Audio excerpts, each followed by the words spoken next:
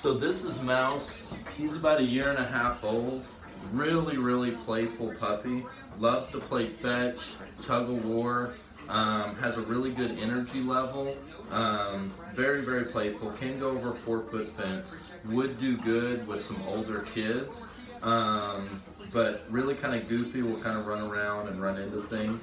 But very, very sweet and playful dog.